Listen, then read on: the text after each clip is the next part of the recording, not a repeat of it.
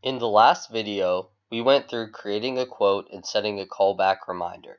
Today, you'll learn how to turn a quote into a catering order. You'll start by going to your contact list and finding the customer. Next, you'll go back to your Quotes tab. Once you find the quote that you want to turn into an order, you'll go to the right and select View slash Edit Quote. You'll see a pop-up of the quote, and at the top is an option to choose a function. You'll go to the last option and select Convert this quote to an order.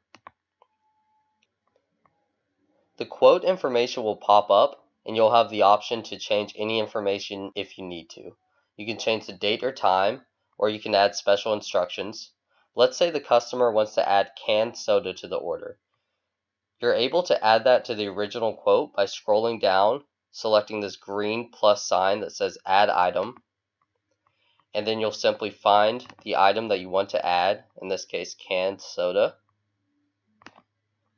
You can add any special instructions for the item, and in quantity, you'll put the number of people the item is for.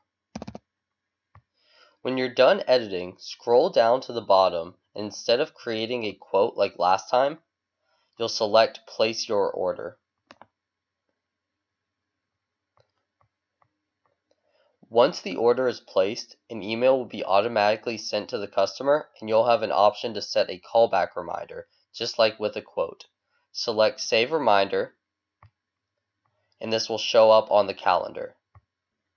You'll go to the date of the order press the organization's order name, in this case the customer's organization is Metro Schools, and you'll be able to view the ticket.